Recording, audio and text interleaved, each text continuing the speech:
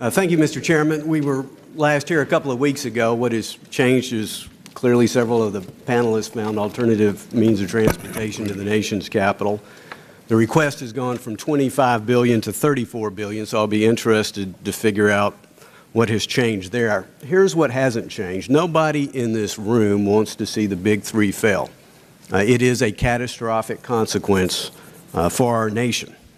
But what hasn't changed also is that every industry, every industry in America is hurting today.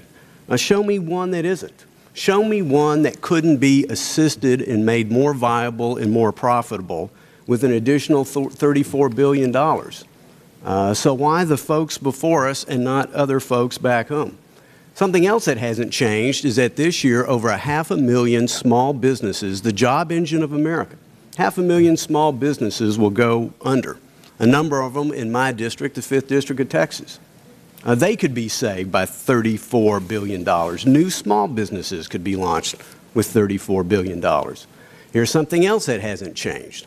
Unless consumers demand more of these vehicles and unless the labor cost of the big three become more competitive, $34 billion, $44 billion, $54 billion—name your number, will not solve the problem. Uh, there is a concept of throwing good money after bad. I'm anxious to hear about the plans.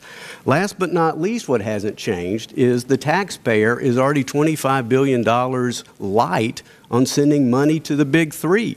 Now, you gentlemen haven't received it because it's tied to fuel efficiency metrics. But there is bipartisan legislation that I would be happy to support to release those funds to you now. But seemingly, the Speaker of the House uh, doesn't want to move that direction for fear of a political battle between the UAW and the environmental movement. But if it's truly emergency, that money should be reprogrammed. I yield back.